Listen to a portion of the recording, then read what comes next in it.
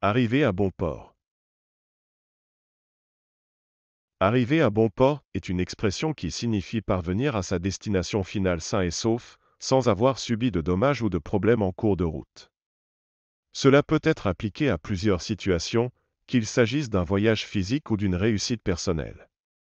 Par exemple, pour un voyageur, arriver à bon port signifie arriver à sa destination finale, en toute sécurité et sans encombre. Pour un étudiant qui passe ses examens, arriver à bon port signifie réussir ses examens avec succès. Pour un sportif qui participe à une compétition, arriver à bon port signifie terminer la course sans blessure. En somme, cette expression implique la réussite d'un voyage ou d'un objectif sans problème, quel que soit le domaine concerné.